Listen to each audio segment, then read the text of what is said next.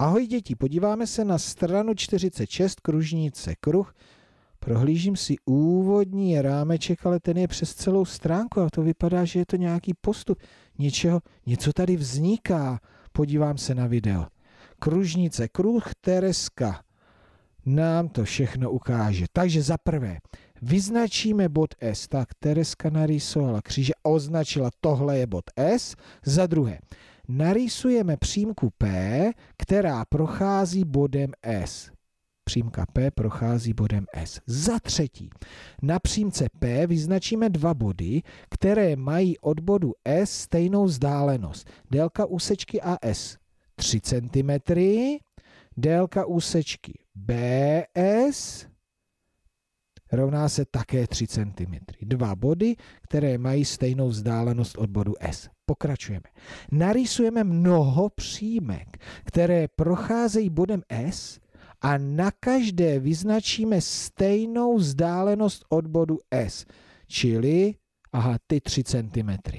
Takže vždycky přímka, teďka to je druhá, teď třetí už přímka a od bodu S 3 cm vyznačíme bod, to je bod E, a druhý krajní bod F, ten je taky vzdálen 3 cm od bodu S. A další přímka. 3 cm a na druhou stranu taky 3 cm. No to jsem zvědavý, mnoho přímek. To tady budeme do rána. Aha, pozor. Pokud bychom takových bodů vyznačili nekonečně mnoho, vznikla by kružnice.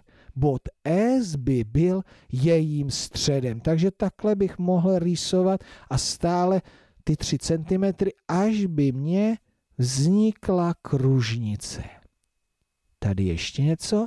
Každý bod, který leží na kružnici, má od jejího středu stejnou vzdálenost. A já už vím, co jsem se měl dozvědět. Já jsem se měl dozvědět, co je to kružnice. Takže kružnice to jsou všechny body, které mají od jednoho bodu stejnou vzdálenost. Tomu bodu říkáme střed kružnice. U nás je to S a toto je kružnice.